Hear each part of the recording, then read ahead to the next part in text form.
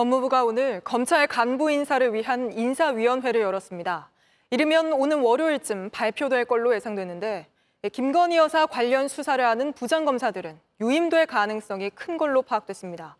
중앙지검장과 차장검사들을 한꺼번에 바꾸며 비판을 받았던 만큼 부장검사들은 남기려는 거 아니냐는 분석이 나옵니다. 연지환 기자입니다. 오늘 오후 법무부에서 검찰 인사위원회가 열렸습니다. 아, 뭐 인사 원칙이라든지 인사 시기에 대해서 위원님들하고 같이 논의했습니다. 지난 13일 검찰 고위직에 이어 차장과 부장검사 등 간부급 인사 절차에 들어간 겁니다. 관심은 김건희 여사의 명품백과 주가 조작 의혹을 수사하는 서울중앙지검 형사 1부장과 반부패 2부장의 교체 여부입니다. 취재 결과 해당 부장검사들은 자리를 옮기지 않을 가능성이 큰 것으로 파악됐습니다.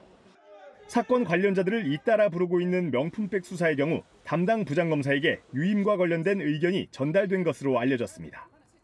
이를 두고 앞서 중앙지검장과 차장검사들의 교체로 김 여사 수사가 차질을 빚었다는 비판 여론을 의식한 것 아니냐는 분석이 나옵니다. 수사 결론에 대한 불신을 사전에 차단하려는 목적이라는 겁니다. 검찰 고위직 인사 과정에선 이원석 검찰총장의 연기 요청을 박성재 법무부 장관이 거부한 것을 두고 논란이 되기도 했습니다. 이번에 부장검사 승진이 없는 만큼 중앙지검의 상당수 부부장 검사들도 그대로 남을 것으로 알려졌습니다.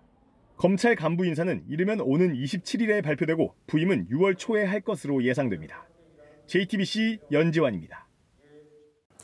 JTBC 뉴스를 시청해 주셔서 고맙습니다. 저희는 저녁 6시 50분 뉴스룸에서 뵙겠습니다.